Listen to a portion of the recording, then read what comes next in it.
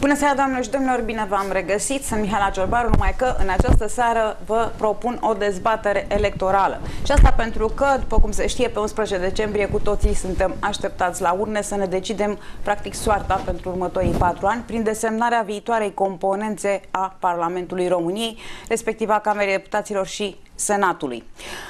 Cum campania electorală a demarat de pe data de 11 deja, dar din punctul meu de vedere, a debutat cu scandaluri, cu acuze, cu nenumărate minciuni și nenumărate promisiuni, iar populismul e în floare. Eu sper, prin intermediul acestor dezbateri electorale pe care le organizăm la Litoral TV, în perioada campaniei electorale, să vă supun atenției subiecte importante și nu certuri și nu acuze, ci idei propuneri concrete, acțiuni pe care cei care aspiră la mandatele de parlamentari le vor face în condițiile în care dumneavoastră îi veți gira și le veți acorda încredere.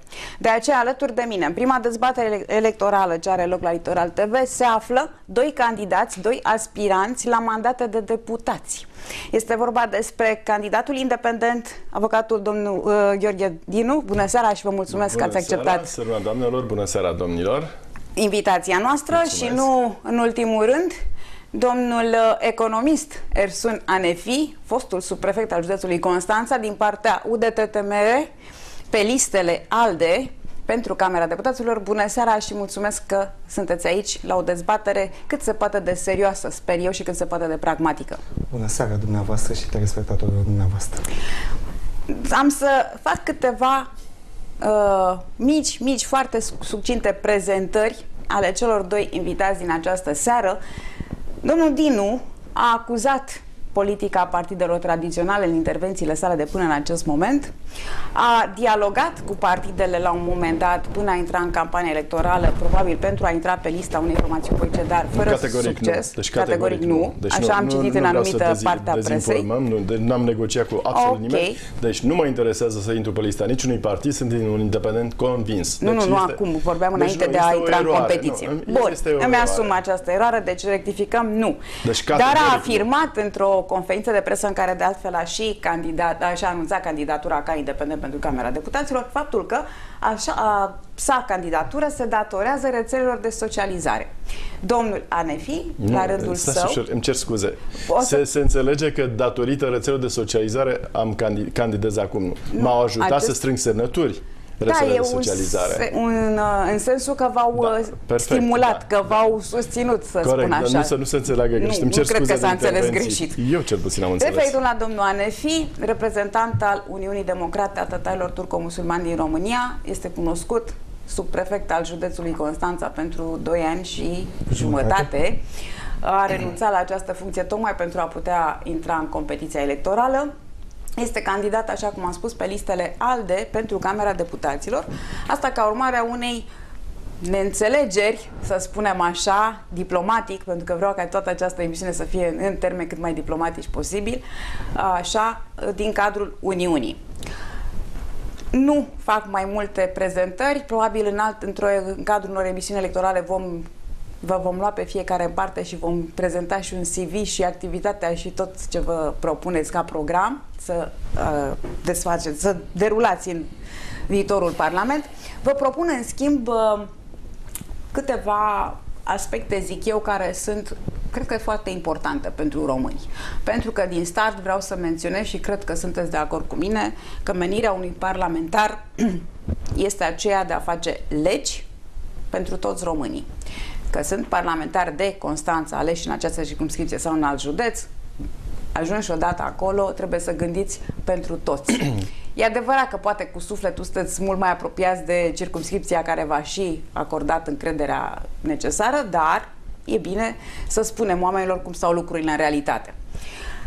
Pornind de la aceste aspecte, primul domeniu pe care vreau să-l abordăm este prioritar, din punctul meu de vedere, o să vedem dacă și din al dumneavoastră, sănătatea. Și plecăm de la următoarele premise. Sistemul de sănătate nu are ca unică prioritate asiguratul, pacientul. Sunt punctele mele de vedere, noastră vreau să văd cum vedeți lucrurile. Este un sistem subfinanțat, Uh, lipsesc spitale, sau mai bine zis, unitățile spitalicești existente sunt vechi, antice și de demult și adesea fără dotări corespunzătoare. Uh, legea sănătății datează din 2006, iar o lege a prevenției zace în sertarele Parlamentului și la ora actuală. Între timp ne pleacă foarte mulți uh, asistenți medicali, medici. Cu alte cuvinte, situația este pe ansamblu foarte tristă, ca să nu mai vorbim de lipsa accesului la medicamentele inovative. În contextul prezentat, dacă aveți de adăugat fiecare dintre dumneavoastră câte ceva cu cea mai mare plăcere, vreau să ne spuneți concret care sunt prioritățile noastre ca parlamentari aleși pe acest domeniu al sănătății care dintre dumneavoastră doriți să începeți, n-am nicio preferință, la noi este libertate, puteți să vă și completați, puteți să vă și contraziceți, n-am nicio da, problemă. Da, ai, bănuiesc că avem, aveți doi invitații foarte educați. Eu deci sunt convinsă de problema. asta. Uh, cu permisiunea dumneavoastră să încep eu. Vă rog. Uh, de ce? Pentru că fiind un specialist în legi, Parlamentul fiind uh, forul cel mai înalt unde se elaborează și se concep legile, Uh, plec de la acest lucru pentru că, până la urmă, fundamentul oricărei activități, indiferent că e vorba chiar de televiziune, că este vorba de, de educație, că e vorba de sănătate, de agricultură, totul se reglementează prin legi. Corect.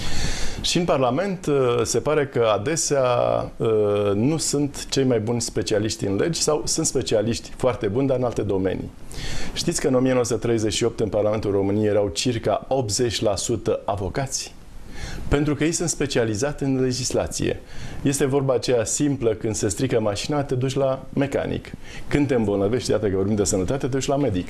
Când legile sunt strâmbe, stufoase și neclare, te duci la avocat. Deci iată că cei din 38 au avut cel puțin conștiința să trimită cei mai potriviți oameni. Dar să revenim la întrebare. Problema cea mai importantă la nivel național, uh, de, chiar de securitate națională la ora asta, este într-adevăr sănătatea. Ar trebui să fie pe agenda președintelui României, a guvernului, a Parlamentului, numărul 1. De ce? În momentul în care 5% uh, la capitolul medici uh, este un deficit de 5% la nivelul unei țări, deja ea apare pe Uh, agenda priorităților guvernului respectiv. Dar în România, rețineți, deficitul este de 20%, deci este o problemă de siguranță națională, deci chiar și serviciile secrete trebuie să-și pună pe prima lor uh, pagina agendei problema uh, sănătății. Și plecăm de la cauză. Care este cauza? Deci pentru că este vorba, rețineți, este foarte grav, nu grav, 20% uh, deficit de personal medical, în special medici, da? Se pleacă, cauza principală este salarizarea. Deci, fără discuții, trebuie dublate salariile. De ce spun fără discuții trebuie, trebuie dublate salariile, fără nicio discuție? Uh, pentru că sunt și bani, dar nu sunt corect gestionați. De ce? Pentru că noi de când suntem în Uniunea Europeană avem dreptul să ne spitalizăm, să ne operăm, să facem uh, uh, aspecte, investigații da. preventive în uh, orice țară din Uniunea Europeană. Și dacă noi nu avem loc aici, ne ducem acolo. Acolo costurile sunt duble, triple sau foarte mari. Și toate acele costuri de acolo, să nu uităm și să nu uite policienii români care nu dau salarii uh, cadrelor medicale, se plătesc de la bugetul nostru. Deci noi le plătim, nu le plătesc europenii, trebuie să înțeleagă. Deci ar trebui dumneavoastră dumneavoastră să, faceți o, să Le faceți europeni, dar la cuantumele de acolo. Să faceți, da, să faceți o investigație, să vedeți câți bani s-au cheltuit pe toate operațiile și toate investigațiile astea medicale în ultimii ani, ca să, în loc de salarii. O altă, uh, Bun, altă... deci am reținut o propunere mea să dublarea salariilor. Obliga- e obligatorie, Bun. rețineți, pentru că este o problemă de siguranță națională deja, de sănătatea poporului, pentru că avem un deficit de 20% medici. Deci ceea ce nu s-a întâmplat în istoria niciunei țări din Uniunea Europeană. Deci asta e o primă. O, primă. o al doua problemă foarte importantă de, de interes regional de data aceasta, pentru că trebuie să ne referim la aceasta, dar să ținem la Constanța, toți parlamentarii care, uh, îmi cer scuze, dar toți sunt votați votați, revotați, retrimiși acolo și n-au făcut nimic. Există bani de la Uniunea Europeană pentru construcția unui uh, spital regional.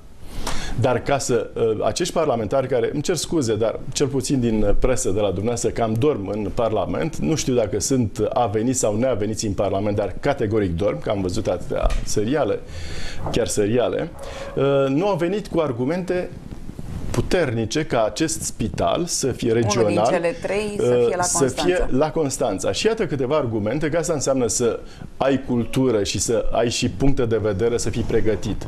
Fără argumente nu se poate face Bun. nimic. Și vreau să termin aceste rog. argumente care sunt foarte importante. În primul rând, importanța strategică a acestei zone. Trebuie să punem și răul în față, că toată lumea pune bine. Să spunem că în cazul unui cataclis sau unui război, să nu uităm de război, că bate la ușă. Sau un eveniment nedorit sau la un centrala eveniment- nucleară. Corect, Doamne ferește, că ăla e cel mai grav. Uh, Spitalul nostru nu face față și iată un argument foarte important pentru spitalul regional. Un alt argument la fel de important, care este evident, în timpul verii la noi vin milioane de turiști din celelalte județe. Este logic și necesar ca acest spital să fie aici. Ce înseamnă, numai două argumente care sunt clare, evidente. Ce înseamnă un spital aici la noi? Înseamnă zeci și sute de locuri de muncă, pe lângă uh, o prevenție medicală și acești parlamentari, repet, care tot au avut girul constanțenilor, au scăpat din vedere și pentru că probabil nu se impun și facem abstracție că dorm, asta a fost o glumă, dar nu se, nu se implică deloc să apere interesul Constanței și iată că alte instituții de interes regional, deconcentratele, au fost duse la Galați. Probabil și acest spital, dacă nu sunt parlamentari care să se lupte pentru Constanța, se Domnul va duce Dinu, cred tot că la de vină a Galați. fost faptul că în anul când s-au luat aceste decizii nu era un an electoral, că atunci toți erau Bă, foarte nu, vocali și încă o dată, interveneau. Deci, nu, îmi cer scuze. Deci apropo e vorba, de intervențiile știu, corect, nu e vorba de, de, palide de, ale an, nu e vorba parlamentarilor de an actuali. electoral. E vorba că oamenii nu se implică categoric. Din este păcate. clar. Și simțul civic la noi e o problemă. Și bineînțeles, dacă vreți să-mi termin sau mai continui cu tot Uh, cu Vreau să sănătatea, lăsăm și pe domnul Anefi mai aveam să-și un spună- singur punct Vă rog, foarte la important și foarte grav de data aceasta local, care interesează în special județul uh, Constanța.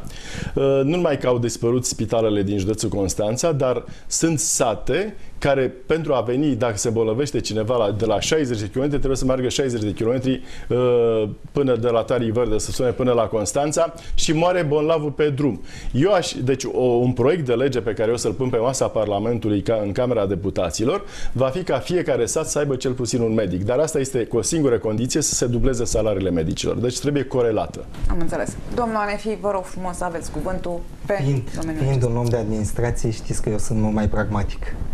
Pentru mine, eu vă spun concret ce am făcut în administrație. În primul rând, am uh, luptat pentru redeschiderea spitalului de la Băneasa. Acest lucru știți că se pune problema unei investiții TICA Da, și sper, deocamdată e un centru multi... sper ca în scurt timp să realizăm această investiție pentru populația din Băneasa, pentru populația din județul Constanța. Al doilea lucru, probabil că știți, se preconizează că a doua investiție, tot uh, o investiție turcească, va fi realizată la Megidia, la, în Policlinica, pentru că s-a început construcția, s-au pierdut uh, proiectul pe fonduri și la momentul acesta este într-o situație, trebuie intervenit concret. Acum, cu, privind, uh, cu privire la dublarea salariilor, acest lucru a fost realizat de guvernul Tăricianu în perioada 2005-2008. S-au reușit să se dubleze salariile în perioada aceea.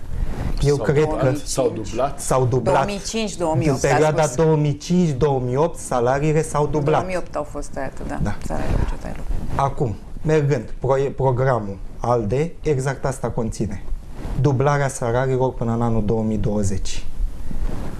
Eu cred că este un pro- program bun, Deci o dublare eșalonată. Pe o cei patru dublare ani. eșalonată, salariile din 2020 să fie duble față de cele din 2016. Uh, cu privire, cred și eu, într-adevăr, salariile sunt foarte mici în sistemul sanitar. Inclusiv mama mea a lucrat în sistemul sanitar timp de 35 de ani, așa că cunoașteți știu foarte bine. foarte bine problemele. Infrastructura este la pământ, trebuie investit masiv. Există diverse soluții. După câte știți, am fost implicat și în problema cu spitalul regional, fiind subprefect la momentul respectiv. Uh, Este o problemă, sunt alocate, din câte știți, sunt Fondurile, alocate, Da. te- terenul este alocat, s-a construit acolo o bază smurt, dar la momentul acesta trebuie găsite și fondurile. Pentru la, uh, cele trei spitale sunt deja au fondurile alocate.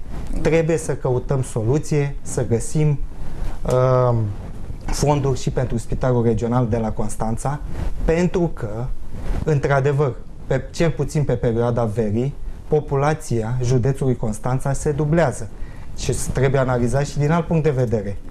Județul Constanța mai deservește și județul Tulcea, mai deservește și județul Brăila. Deci, județele emergente. Bun. Este o prioritate și pentru ALDE. Acest da, am lucru, să intervin, dar... Ah, scuzați-mă. Da? Iar programul, pe lângă faptul că mai sunt introducerea unor analize cu totul speciale, în acest program al ALDE se uh, dorește mărirea pachetului de, de analize bază. gratuite. Am să intervin. Iată ce înseamnă uh, uh, partidele care guvernează și au guvernat uh, România. Condamnă până la urmă, prin politicile sale nepragmatice, condamnă la înfometare cetățenii români. Îmi asum responsabilitatea cuvintelor mele. De ce? Există o lege 554 per 2001, legea coșului minimal lunar, care conform uh, uh, celor din lege, această, acest coș lunar minimal conține acele produse alimentare, nealimentare și servicii minimale obligatorii pe care statul trebuie să le asigure fiecărui cetățean pentru dezvoltarea sa fizică. Punct. Coșul, valoarea coșului minimal anul trecut, în iunie de 2015, era de 4084 de lei. Coșul minimal se raportează la trei persoane. Mamă, tată, copil. Deci, cu alte cuvinte, salariul minim uh, pentru venitul pentru o singură persoană ar fi de 1600 de lei. Uh, distinsul uh, coleg de platou a spus că până în anul 2000 nu știu cât se va dubla salariul de acum, ceea ce este, ceea ce este pe la jumătatea necesarului. Ceea ce nu știu parlamentarii români și ceea ce nu știu probabil politicienii care propun proiecte de legi, că există un articol în uh, codul penal, se numește articolul 438 litera C, care spune, printre altele, că supunerea unei comunități sau unei părți din comunitate la condiții de viață care pun în pericol dezvoltarea lor fizică este genocid. Genocidul se condamnă pe viață și este imprescriptibil. Deci oricine, oricând, poate să dea în judecată începând din 2001 pe toți președinții care au fost de atunci, pe toți premieri, inclusiv pe domnul Tăricianu, că zice că a dublat uh, salariile. De ce spun chestia asta? Pentru că, iată, am studiat și există bani. Că întotdeauna când ridici o problemă cel puțin am învățat de la americani. Când ridici în Congresul American, când spune un, un congresman, domnule, trebuie să facem loc de un pahar, 200 de pahare, vine cu sursa de finanțare. Corect. Este foarte corect. Și există sursă de finanțare, există și miliarde. cu sursă de finanțare și cu termen de Și cu, corect, mi se pare corect. Și iată, pentru că în Uniunea Europeană sunt 28 de state și noi totuși ne comparăm cu Bulgaria, cam la nivelul ăsta sunt, bulgarii sunt mai eficienți în administrație decât, de, decât noi și reușesc să colecteze impozite și taxe la nivel de 50%. Românii suntem pe ultimul loc, inclusiv la sănătate Constanța, colectează 33%. Dacă românii cei plătiți de noi, funcționarii din ANAP, din primărie, etc., al colecta 50% măcar cât Bulgaria, asta înseamnă o diferență, rețineți, de 17 miliarde de euro. Ceea ce ar acoperit toate salariile și pentru medici și pentru coșul acesta alimentar, care este obligatoriu. Da, dar poate mulți dintre români nu-și pot plăti impozitele uh, că nu din ce. Lăsați-mă să intervin. Vă rog. Nicăieri, în Europa aceasta nu există și mai ales în Bulgaria, nu există grad de corectare mai mare de 40%. Eu sunt vin din ANAF. Când o să-mi spuneți mie, îmi arătați concret că Bulgaria corectează 50%. Deci, deci eu vă, vă spun, deci încă o dată, eu nu-mi permit, nu permit să vin aici la televiziune, eu sunt și... un tip, dacă îmi permiteți, eu sunt un tip al legilor. Deci eu nu-mi permit, Eu vă cred citit. că sunteți un om al deci, legilor, dar omul nu, eu, totuși eu sunt omul cifrelor. Eu sunt încântat, ceea, eu sunt încântat, dar să luăm, dacă îmi permiteți, domnul O combinație perfectă, lege și da, cifre. Perfect. Atunci să, să mergem pe varianta distinsului nostru coleg și să spunem că bulgarii colectează doar 40%, a spus domnia sa. Asta înseamnă pentru sub români... 40%. Deci îmi cer scuze. Ați spus 40%. Sub Asta... Ok, sub, vă place termenul ăsta, sub. Ok, sub 40%. Românii colectează sub 33%, dacă vă place acest sub.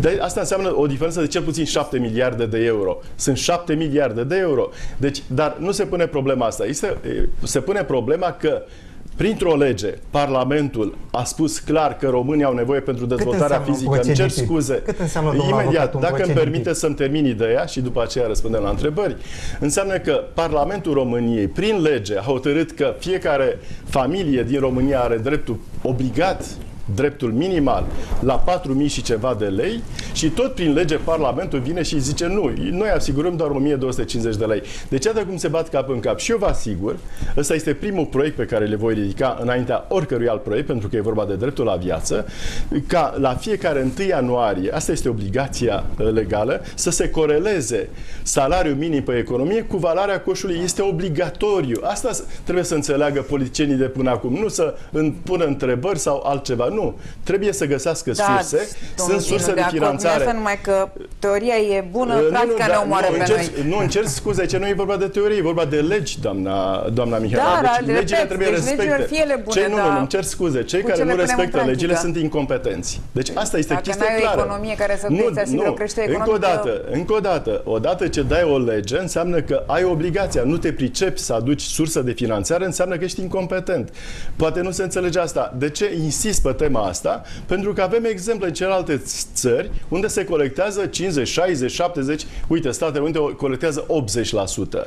Deci, uh, deci, domnul, uh, îmi cer scuze pentru dumneavoastră. Sunt date, o să le aduc cu multă plăcere, o să vi le trimit la o primă emisiune. Vin cu ele scoase, n-am știut că uh, distinsul domn râde când îi se dau niște cifre destul de concrete Proiecte de pe surse de... Alte e, e treaba domniei. Normal că cei de la ANAF au foarte multe date și pentru că nu și-au făcut datoria și nu și-o fac, pentru că, repet, statul trăiește din impozite și taxe colectate. Corect. Și acestea trebuie colectate eficient. Și odată ce colectezi 33%, nu înțeleg de ce nu colectezi 100%. Pentru că asta ești plătit. Hai să spunem 80%, dar nu 33%. Deci banii aceștia se duc în altă parte. Dacă și tot vorba... am ajuns la capitolul, la întrebarea asta de ce nu reușim. Haideți să ne explicați că sunteți în domeniu. Macroeconomic. Un, un procent din PIB înseamnă aproximativ la momentul acesta, ca să clarificăm și aspectul ăsta, înseamnă în mare cam 1,7 miliarde de euro. Corect, corect. În România, mă refer la produsul intern brut pe 2016 în România. Acum ce înseamnă gradul de corectare? Gradul de corectare înseamnă taxele adunate. Dacă tu te duci la 100% în taxe, înseamnă că nu ai venituri. Ca firme nu există venituri. Nu există așa ceva. 33% reprezintă cât ia statul din TVA, din accize și din alte taxe special de asta și aduce la bugetul de stat. Domnule, îmi cer scuze. Dar cum, se pune atunci problema... cum spune să mergem la 100%? Îmi cer scuze. Deci, păi, cum stați ușor, că n-am spus niciodată chestia asta. Nu se poate așa cer ceva. scuze. Nu, adică el în toată lumea nu există. Păi înseamnă că totul nu, este centralizat. Am spus, am spus, și tot, am spus că este ideal. N-am toate veniturile sunt ale statului. Îmi cer scuze, distinse domn. Nu așa ceva. Este vorba de ineficiență, de proastă gestionare și de oameni care nu-și fac datoria. Bun, dar putem, domnul Anefi, să deci, discutăm de o eventuală creștere a acestui procent de corectare? Da, de corectare. Cea mai bună, cea mai bună corectare la nivelul României a avut loc în anul 2008 pe timpul guvernului Tăricianu, care a realizat 34%.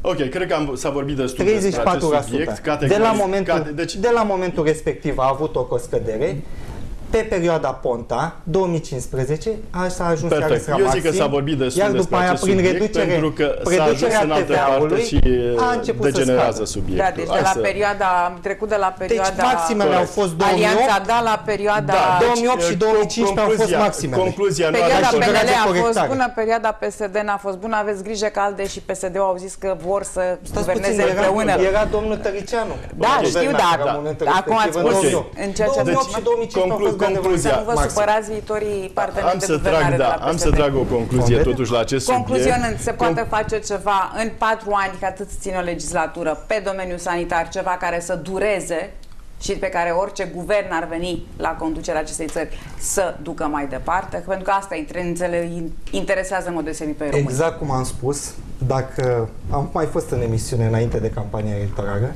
iar eu v-am spus clar, din punctul meu de vedere, eu vreau să fiu un deputat al Constanțenilor și vreau să aduc fonduri în acest județ. Okay. Pe lângă faptul că știți că sunt susținut de UDTTMR, un mare câștig pentru ALDE, fie un mare câștig noi. pentru ALDE, ALDE, exact. Știți că am zis întotdeauna că am fost sub prefectul județului Constanța și am făcut pentru întreaga comunitate și m-am zbătut pentru întreaga comunitate și ceea ce vreau eu să fac este în continuare să fiu subprefectul, uh, deputatul județului Constanța Bun. și să-mi continui Ok, da, Rămânem am, tot să, pe- nu, am să revin să răspund și eu la întrebare. Nu vreau să ratăm toată, Nu, să ok, pierdem dacă toată îmi permiteți, emisiunea vreau pe să tema vă asta. Vreau să răspund fim la cât mai întrebare. Îmi permiteți concis să să răspund la încercăm, vă rog, întrebare? dar vreau să Deci încercăm nu, să fim am cât spus- mai concis și să Ok, încercăm să pot să abordăm răspund la măcar întrebare? două subiecte Ok, în Vreau să emisiunea asta. termin la Da? întrebare. Deci a spus cum se poate finaliza acest aspect pentru sănătate. Am vorbit cu mulți medici în perioada asta și uh, toți se plâng de faptul că legile sunt foarte stufoase, că vin ordonanțe peste ordonanțe. toate Chiar domeniile de aseară, activitate da, vorbim despre sănătate. Uh, Deci, încă o dată, legile trebuie să fie simple, clare, necesare și predictibile. Și acestea nu pot fi făcute decât specia- de specialiști în legislație. Ce înseamnă o lege simplă? Să fie înțeleasă și de omul cu școală și de omul fără școală sau cu puțină școală. Și mai ce puțin înseamnă, interpretabilă. Ce înseamnă clară? Clară înseamnă pentru cei care o aplică. Ea nu trebuie să fie echivocă și stufoasă. Necesară. Înainte să o dai, trebuie să te adresezi segmentului la care se referă, să spună ei, medicii, economiștii, ziariștii, de ce ar avea nevoie. Și predictibile pentru investitori. Pentru că un investitor puternic, de, toți spun, toți politicienii o să-i auziți, aduc investitori. Nu, investitorii vin într-o zi, dar își- am- investitorii serioși își trimit o armată de avocați. Avocatul se uită la legea care e reglementează, să spunem, uh, fabricarea de pahare și zice, domnule John, uh, nu înțeleg nimic, hai să ne ducem în Ungaria, că acolo legea este altfel. mai clare, da. Deci, uh, plec, uh, asta vreau să spun, că în Parlament se fac legi și dumneavoastră, constanțenii, trebuie să înțelegeți, să aveți curajul să trimiteți oameni specializați în legislație. În guvern pot fi specialiști în economie, specialiști în inginerie, specialiști în chimie, acolo se execută legile pe care le fa- fac uh, Parlamentul. A, deci să înțeleg. Eu am altă practic, părere, Da, în vă rog. sensul că dacă ești specialist într-un domeniu, poți să faci legi pentru acel domeniu. Pentru că tocmai de asta există, în cadrul Parlamentului, comisii speciale. Dacă tu ești pe buget, te duci, buget finanțe, te duci în Comisia de Buget Finanțe și faci legile acolo. Da, la o primă Dacă vedere ești aveți bun, dreptate și te vă duci dau în dreptate. Comisia Juridică și faci Da. legi. Deci înțeleg că ați ajuns la un specifice consens, pentru- ambii candidați Da. la Camera Uh, Deputaților vor o profesionalizare a Parlamentului da, ca să corect, doar funcționeze. că, doar că, doar că în Parlament se fac legi, iar Comisia de Specialitate, să spunem, de, de Finanțe Bănci, Comisia de Cultură, de Educație, după ce uh, concepe, am spus că trebuie să Un fie proiect de necesar lege, să se... trece prin Comisia Juridică. Trece prin Comisia Juridică și Trebuie fiecare aviz juridic, da. Comisie, cu fiecare comisie de specialitate are în componența sa câte unul sau doi juriști. Aici este Sau toată ar chestia. trebui să ar aibă. trebui să aibă, corect. Și dacă, iată, distința doamnă Mihaela spune că ar trebui să aibă, este logic că acolo unde se fabrică legi, trebuie să trimitem specialiștii în legislație. Deci, avocați Eu și cred că juriști. cel mai bine ar fi să avem specialiști în toate domeniile. specialiști Nu pe domeniul specialiști respectiv. în legislație, că pe acolo se domeniul fac legi, respectiv. că de asta legile sunt stufoase este adevărat. și neclare, pentru că sunt făcute de nespecialiștii care cred că sunt specialiști în legi. Nu, Nu ceilalți sunt specialiști în finanțe, bănci, Un în avocat nu o să educație. știe Da, niciodată o să avem prea despre mulți, sistemul uh, sanitar, prea nu o mulți să juriști știe. sau prea Da, mulți da, avocați deci în încă o dată, Parlament, da. ce o să facem în comisiile celelalte de specialitate. Nu, deci în comisie Nu o să mai avem special... nu, specialiști sunt, acolo. sunt specialiști suficienți, dar repet, în 1938, anul cel mai Asta am de vârf al... reținut. Da, Și dar cred e că foarte și important. telespectatorii. Da, de Circa acord. 80% și nu întâmplător. Deci partidele de atunci erau responsabile și își trimiteau în majoritate în Parlament juriști. Bun. Pentru că se pricep la Ce elaborarea de reprezintă legi. până la urmă Parlamentul? Haideți să o luăm din punctul ăsta de vedere. Hai să nu deviem subiectul, să ne Parlamentul întrebe, hai să ne reprezintă, întrebe, este Stați- reprezentantul... avem un moderator Stați o și să secundă. ne spună ce trebuie Eu să încerc să fie Ce- ce timp ne- egal, mă tot uit la Știu. timp. și vreau reprezintă, să- da, poporul. Dacă poporul este format din medici, din avocați, din economiști, din ingineri, eu cred că e nevoie proporțional să muncitori, fie din sunt și toți. oameni Dacă de îmi casă, permiteți, casă și nu, mai departe, atunci da. am Nu să, are vin, cum să să fie. completez totuși. Ah. E Român, nu, îmi cer scuze. Vă rog. Deci statul român are trei puteri. Puterea executivă, deci puterea administrativă, puterea legislativă, Parlamentul și puterea judecătorească. Într-adevăr, este o chestie didactică, doar că puterea legislativă trebuie să aibă în majoritate juriști specialiști în Mi se pare- legislație. domnul- puterea domnul executivă, Dinu, fiind avocat, nu, cer pledează pentru scuze, o- ca Pe- pledez pentru majoritatea în competență, Parlament pentru să fie- competență și Păi profesionalism. una din putere Dacă oricum îmi e permiteți, formată nu, numai din îmi cer avocați scuze, îmi și cer din scuze. magistrați, da? Puterea executivă. Atunci ce ar fi să fie puterea și cea executivă- legislativă să fie puterea- îmi formată cer tot din, scuze. din avocați? Nu, vreau să Păi se atunci dragi să telespectatori, facem și cea de executivă aceea- tot din deci- avocat și să plecăm Ok, toți acasă. Să lăsăm să Principiul vorbească, ăsta. ok. În puterea executivă, acolo, într-adevăr, trebuie să fie specialiștii, economiști, ingineri, chimiști, acolo nu prea au ce să caute juriștii. Juriștii trebuie să pună legile să fie simple, clare, necesare. Asta vreau să înțeleagă. Omul potrivit la locul potrivit și închei printr-un citat din Montesquieu, care spunea că prima demonstrație a demagogiei, a ipocriziei și a falsității este atunci când cineva care nu se pricepe deloc la un domeniu, vrea el neapărat să fie în domeniul ăla și aduce argumente false. Mulțumesc! Da. Uh, am apucat să discutăm un pic despre sănătate. Am reținut câteva idei. Rămâne să vedem, odată ajunși în Parlament, cât se vor, din ideile acestea se va concretiza. Ajung, uh, pentru că mai avem, îmi spun colegii din regie, aproximativ 20 de minute din emisiune, din păcate. Uh, un alt domeniu foarte important pe care nu vreau să ratez și cu toți parlamentarii care vor trece pe aici îl, vor, îl voi aborda, educația. Uh, Conform uh, Direcției Județene de Statistică Constanța, în anul școlar 2014-2015, totalul populației școlare era de 138.786 de persoane, da? plecând de la preșcolar până la studii universitare și aici incluzându-se sistemul de stat și cel privat, uh, din care 24.111 în sistem de învățământ superior, 4.350 în post-liceal și școli de maestri și doar 1179 în școli profesionale și ucenici se regăseau în anul școlar precedent. Pe scurt, ca și la sănătate, sistemul de educație, același, aceeași problemă importantă, subfinanțarea, deși legislația în vigoare prevede 6% din PIB, absenteism și risc de abandon foarte crescut, inclusiv la noi în județ, Uh, dezinteres din partea tinerilor de a îmbrățișa această profesie de dascăl, indiferent că vorbim de educatori, învățători, profesori. Din păcate, e, e punctul meu de vedere, avem o, o nevoie de mulți profesori tineri și care bine pregătiți. Iar uh, în ceea ce privește infrastructura școlară, acolo e în foarte multe locuri jale. Vorbesc la modul general, multe școli fără autorizație de funcționare, multe școli care nu au dotarea necesară, deși se merge pe ideea hai să facem totul cât mai uh, tehnic, vorbim de tablete, vorbim de manuale uh, virtuale și așa mai departe, când unii copii nici măcar n-au văzut și nu știu cum arată o tabletă sau nu știu nici măcar să citească, dar aminte să folosească o tabletă. Asta e situația, mai ales în mediul rural. Cum și de unde trebuie să se acționeze pentru sistemul de educație. Domnul Anefi, începeți dumneavoastră la întrebarea aceasta. Domnul Dinu, după. Vă rog.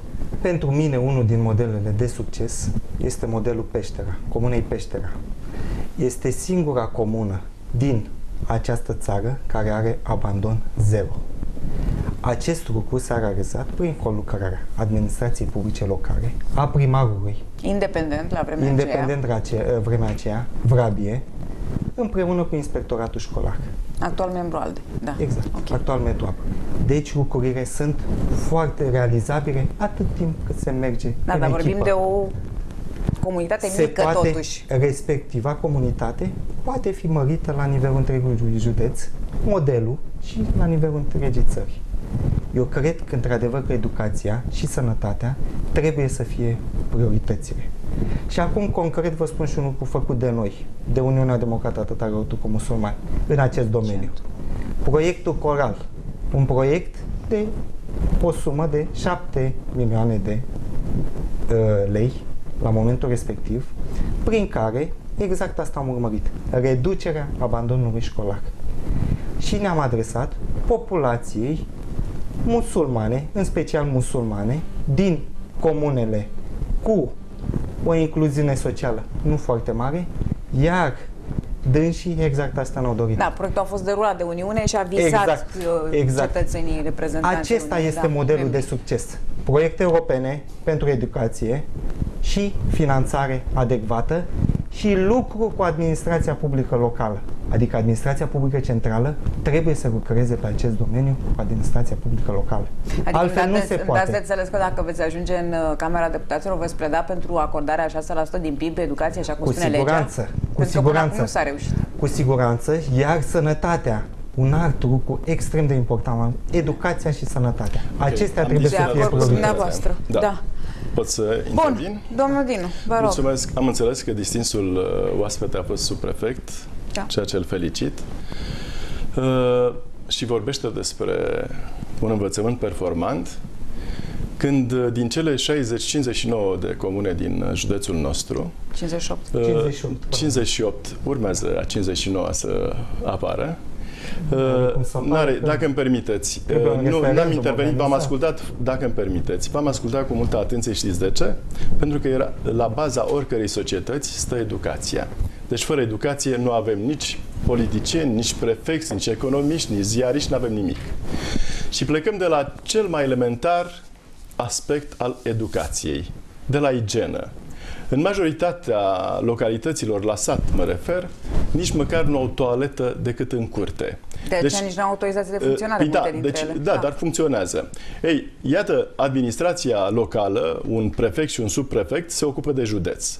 Nu au fost în stare să facă niște WC-uri în De unde în știți interior. dumneavoastră că nu au fost E- necesare nu, sau încerc ce am scuze, făcut? eu știu Astea că nu sunt există. atacuri la Nu, persoană. nu, atac, nu la dumneavoastră. Cum să nu? Dacă îmi Astea sunt permiteți. atacuri. Dacă sunteți cu Dacă mine îmi, în pe- îmi emisiune, permiteți, vă rog, ave, sunteți, Să păstrăm- dacă îmi permiteți, să îmi păstrăm permiteți un să vă anumit spun și da, nivel păi tocmai al că păstrăm. discuției.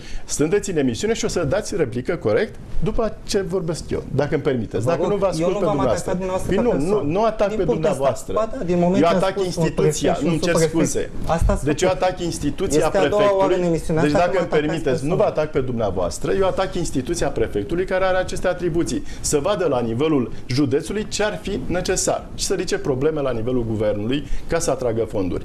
Deci ăsta este un aspect, dar problema are și altă, altă conotație. Deci școlile până la urmă și educația pregătesc viitorii specialiști.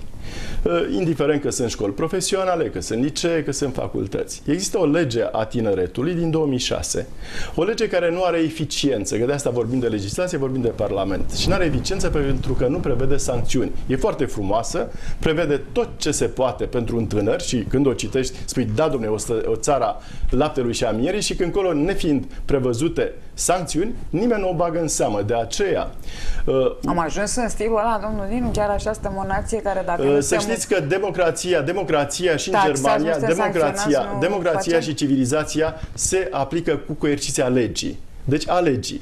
Deci dacă o lege nu are sancțiuni, nu este eficientă. Deci eu vă, vă promit și tinerilor promit, pentru că pe lângă alte facilități pe care trebuie să le prevadă legea uh, eficiente, o să prevedem și niște sancțiuni pentru administrațiile care nu aplică ceea ce spune legea. Care neglijează, practic, deci, sistemul de corect. educație. Ei, și vreau să spun că printre facilități, uh, un tânăr care termină facultate sau liceu, când se duce să angajeze, zice, domne, n-ai vechime în domeniu. Păi cum să am vechime dacă acum am terminat școala? Deci legea trebuie să fie foarte clară, să acorde facilități, să angajeze tineri fără vechime. Ei, aici iarăși statul trebuie să vină să acorde facilități, să spunem, acelor firme care angajează tineri pe o perioadă de un an, doi, trei, ca să facă vechime. Că e cercul vicios. N-ai vechime, nu te angajezi. Și oamenii pleacă din, din țară și ne întrebăm de ce pleacă. Deocamdată tinerii După- pleacă din școală și absentează și aici e marea problemă. Deci, încă o dată, marea problemă, iarăși... Sau încă o dată, termină deci școala disciplina- pentru că legislația e Uh, făcută de așa Doamna natură Mihaela, și disciplina, în indiferent ce spunem, se face prin, cultura prin e- coerciție. Deci prin lege. Coerciția legii. Deci asta înseamnă democrația. Forța legii, nu, nu altă forță. Da? Ei, dacă nu există și măsuri coercitive, dar luate corect. Aici este măsura cu care le iei, nu că îți place de Ionescu sau Haideți să vă Popescu. întreb punctual Și- ceva vă rog, pe amândoi. Da. Vi se pare corect, corectă prevederea legală 10 ani de școală obligatoriu? Din punctul meu de vedere, da. Ar Minim trebui- 10 ani. Vă rog. Uh, Deci este Des. foarte binevenită să fie obligatorie, dar statul trebuie să asigure manuale și celelalte, că se spune că Asta este le gratuit. asigură până în clasa 10, Uh, la 11 așa 12 e Știu, problema. dar se spune că este gratuit învățământul, da? Și le asigură manuale mai vechi, mai și nu-ți face plăcere. Știți foarte bine că noi pe vremea noastră primeam manuale noi, nouțe. Cel puțin noi așa am învățat. Și Nu, parcă îți eu- vine, îți vine cu drag Generația să înveți. mea Parte am erau, învățat parte tot. nu. Da. Tot pe manualele Bine. colegilor de dinainte. E, nu este, și nu a fost este o problemă bine. din este punctul o meu de problemă vedere. din punctul din punct de vedere al igienei măcar. Dacă o luăm din punct de vedere al punct de igienei. vedere, da. Știți că apropo de, de susținere la acestea, uh, în România este pe primul loc la mortalitate infantilă și dintre județe Constanța este pe primul loc la mortalitate infantilă, printre alte elemente, lipsa igienei. Și pro, vorbeați de profilaxie. Uh, Profilaxie, deci educația medicală și sanitară uh, nu se mai face pentru că Nu se face. Și ne întrebăm de ce au apărut anumite boli care au fost eradicate acum câțiva ani buni uh, din România.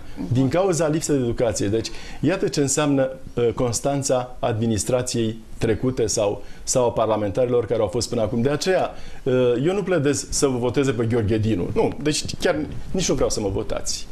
Vreau să votați pe oamenii care au demonstrat că au făcut ceva. Una este să vorbești și alta, în mandatul pe care l-au avut, trebuiau să facă ceva concret.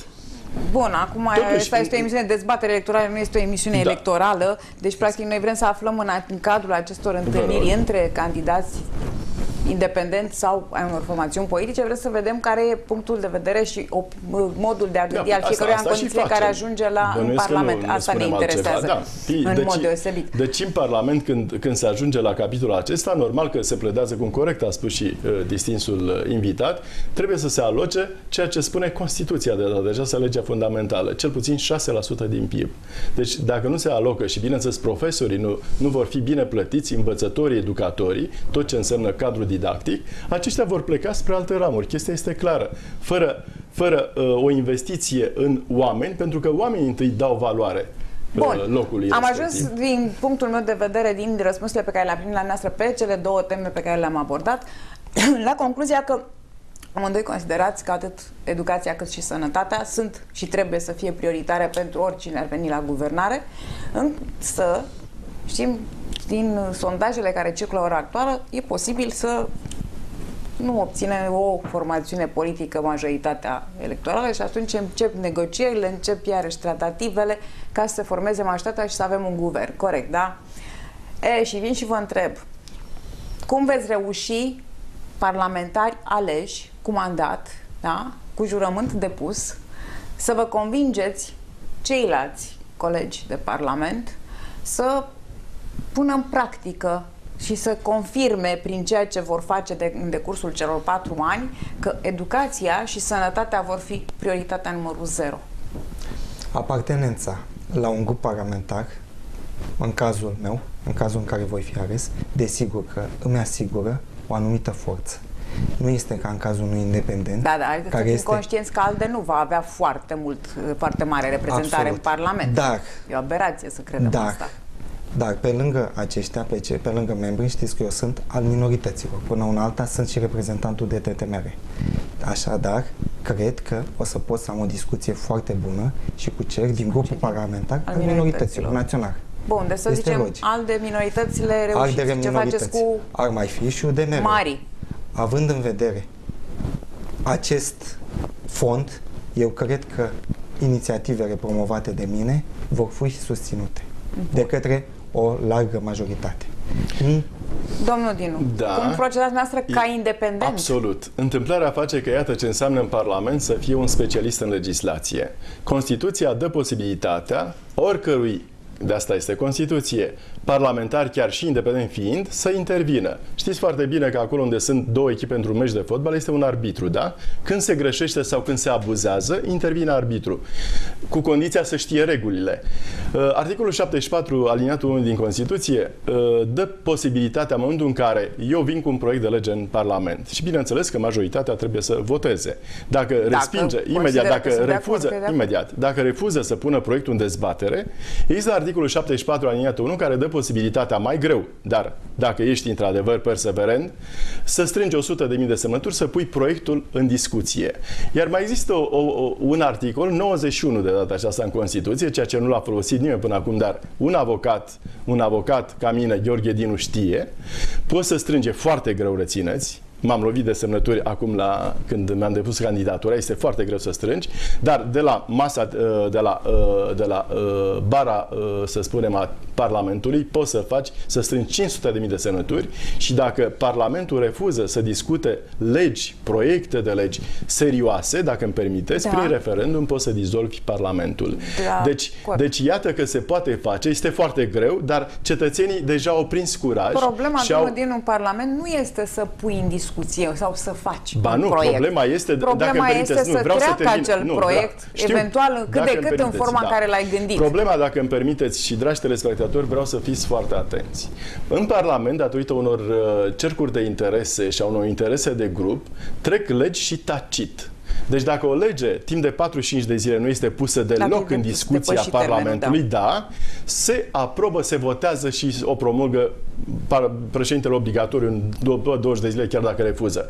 Deci dacă este un, o, un om neutru în Parlament și spune ce cu legea aia de nu o puneți în discuție, atunci sunt obligați să o pună în discuție și ne dăm seama că s-ar putea interese oculte să treacă tacit. De aceea vă trebuie, eu sunt singurul candidat la Camera Deputaților. Vă trebuie un singur arbitru acolo și atunci veți fi apărați în drepturile și libertățile dumneavoastră de un profesionist. Domnule, și vreau să completați, dar l-am rugat pe domnul Dinu, apropo de cum veți face să convingeți parlamentarii, indiferent din ce zone ale țării vin și mai ales pe ei noștri, știut fiind faptul că adesea apartenența politică sau orgoile astea între putere și majoi, între opoziție și uh, cei care sunt la putere a fost în defavoarea românului, să o spunem pe de de dreptul, în ultimii ani. Din punctul meu de vedere, proiectele mele sunt de interes general. Uh, cele din platforma program includ un cod administrativ, este ceea ce consider eu că este necesar în momentul ăsta, având în vedere că avem un cod penal, avem un cod fiscal, ne trebuie și un cod administrativ care să înglodeze absolut toate legile administrației publice. Corect. Și să se uh, știe exact când este cazul să se este suspende, să se elibereze. Nu este o propunere a mea personală. nu, pentru că am mai auzit ideea asta și la Știu. candidați liberali și la candidați PSD, culmea. Da. Pe la uh, dezbaterile... Am văzut, pe la am văzut că au fost aprobate liniile, prin hotărâre de guvern s-au aprobat liniile în martie 2016 pe care să se facă acest cod administrativ. Dar începând cu martie 2016 nu s-a mai lucrat sau încă nu au apărut. Eu aș vrea să lucrez la acest lucru pentru întreaga administrație publică locală. Să clarificăm cât de mult atunci când avem un primar condamnat ce se întâmplă cu el, un consilier local, pentru că sunt lucruri de care eu m-am lovit. Ăsta este avantajul meu. Faptul că am o anumită experiență în administrație și am, am luat-o cu încetul, pas cu pas. Am fost pe funcții de execuție, am acumulat o experiență, am trecut pe funcții de conducere, după care am trecut pe funcția de înalt funcționar public, care mi-au dat o experiență să pot să știu de ceea ce m-am lovit ca să fac legi mai bune. Deci Dar pentru proiectul asta, dumneavoastră pe care mizați și pe care, pentru care vă veți lupta în Parlament va fi da, practic acest național. cod administrativ. Exact. Da, eu Proiectul totuși prioritatea mea pro... în, da. pe domenii în afară pentru deci, major, pentru, da. întreaga, pentru întreaga țară. Dacă parlamentarii, în general, gândesc pentru întreaga țară, totuși eu sunt uh, candidat independent pentru județul Constanța. Eu mi-am propus, fiind și constanțean născut, crescut, educat în Constanța, să acționez în sprijinul și în interesul constanțenilor și iată, printre prioritățile mele se numără și portul Constanța și marinarii din Constanța care bătuți de valurile mărilor și oceanilor, când ies la pensie, au cea mai mică pensie din sistemul de pensii din România. Foarte curios. De aceea voi lupta ca acești primari, chiar uh, marți am o întâlnire cu liderul sindicatelor uh, navigatorilor, domnul Mihal Cioiu, și o să discutăm foarte clar să vedem exact ce au făcut până acum și eu care sunt totuși avocat și chiar mă pricep să, să promovez un proiect de lege, promit că mă voi ocupa cu prioritate de acest lucru. Mă voi ocupa de asemenea, țineți, eu plec din Cred Constanța. Cred că mai în primul rând își doresc o flotă și nave pe care uh, da, până își, dore, până, până își doresc uh, o flotă care nu mai există, își doresc să trăiască, distinsă doamna Mihala. Și dacă îmi permiteți, în Consta, Constanța este cel mai scump județ din România, la capitolul apă potabilă, rețineți, apă potabilă, iar pe locul 15 uh, printre primele 15 locuri la impozite și taxe. De aceea trebuie găsit aici o cale până la urmă, vii iarăși cu o lege, că totul pleacă de la lege, să, să pui, nu 10 lei costă metru cub de apă pentru fiecare, să raportezi la venitul fiecăruia un anumit procent, să spunem 1% din venitul fiecăruia. Pentru că eu dacă am 5 lei salariu, nu pot să plătesc 5 lei apa. Și atunci dacă plătesc 1% din venitul meu, e doar 0,5 bani. Da, adică venitul trebuie... meu poate să fluctueze și, uh, imediat. Și, mi se pare cel corect. care furnizează apa, de unde știe că mi-a da, crescut dacă mie salariul da, sau poate da, nu mai da, am Dacă salariu. îmi permiteți, în cer scuze, e vorba de răspunderea personală, dai o declarație pe, pe răspundere la începutul anului, uh, dacă ai alte venituri. Deci mi se pare corect. Da, pentru de că, acord cu deci, încă o dumneavoastră, dată, dacă dacă, o să dacă pot întâmpla gândim, nu, multe. încă o dată. Deci dacă știm ce vrem să facem pentru populația Constanței, întâi ne interesăm ce probleme sunt în Constanța și eu am început să merg prin toate localitățile uh, din Constanța, chiar și mâine mă deplasez și la Cobadin și la Mangalia, am fost la Cernavodă, la Tăchirger, Toți la... fac asta, vă uh, dați nu seama știu, că toată lumea v-am vrea spus- să uh, nu, își atragă Sunteți avocatul electoratul. celorlalți, îmi cer scuze. dar eu vă spun ce fac eu- eu. Eu vă spun ce am făcut eu și ce eu- voi face. De ce mă deplasez? Și iată ce am constatat printre altele la Tăchirghiol. S-a, s-a dat o amendă exorbitantă unei scări de bloc pentru că nu știu ce s-a întâmplat cu o femeie de serviciu acolo, 10.000 de lei la 10 familii. Pe aceștia nu aveau venituri decât până într-o mie de lei, majoritatea. 30 de secunde mai am până la final, trebuie să Deci merg la pentru revedere. Îmi fiecare? pare, nu, pentru mine doar, îmi pare rău. Atunci dați-ne Uh, măcar posibilitatea să ne luăm noi la revedere. Vă rog da? frumos. Deci uh, sunt candidatul independent Gheorghe Dinu la Camera Deputaților, singurul candidat independent, deci votați un independent, vocea dumneavoastră în Parlament. Mulțumesc! Domnule Nefi, vă rog frumos. Eu o să vă spun sloganul UDTMR-ului la momentul acesta. UDTMR susține ALDE. Uh, UDTMR votează ALDE. Vă Am mulțumesc. înțeles. Eu vă mulțumesc pentru participare. Sper că ai noștri telespectatori au văzut cam care sunt viziunile noastre în ceea ce privește sănătatea și educația. Acestea au fost singurele subiecte pe care am putut să le abordăm. Cu alte ocazii poate abordăm și alte teme. Mulțumesc pentru participare. Închem aici ediția. Ne revedem luni la 20.30 la emisiunea Radiografia Zilei cu care v-ați obișnuit. Un subiect interesant și invitați pe măsură. Până atunci tuturor un weekend cât mai plăcut.